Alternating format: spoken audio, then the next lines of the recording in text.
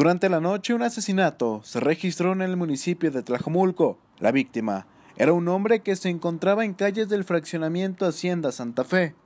Fue en la calle Taracoy, al cruce con la calle Maracay, donde sujetos armados dispararon en varias ocasiones contra el hombre de aproximadamente 30 años de edad. Al recibir los impactos de bala, el hombre murió en el sitio. Policías municipales acordonaron el área para la fijación de los indicios. Finalmente, personal del Instituto Jalisciense de Ciencias Forenses hizo el levantamiento del cuerpo. De él o los causantes no se tuvo algún dato.